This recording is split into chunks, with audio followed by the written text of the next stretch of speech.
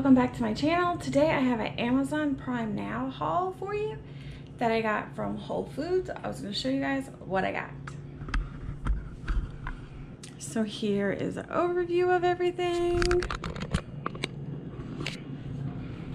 So let's start over here. You can see that my kids already got into these. These were the vegan chocolate chip cookies. We also got the Abe's um, vegan blueberry muffins and the chocolate chip. They've already got into those. I also got this, came in a two pack of wipes. I use these to wipe down the dogs when they come back in from outside to get the pollen off.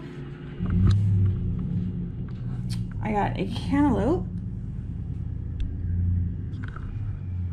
I got a bag of carrots, two parsnips. Then I've got three of these.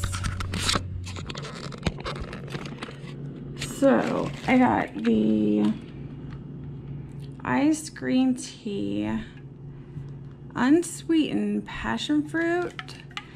This whole can has 10 calories.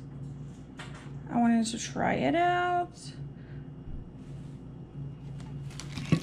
This is the iced tea, iced green tea, sorry. Zero calories. This is in peach mango.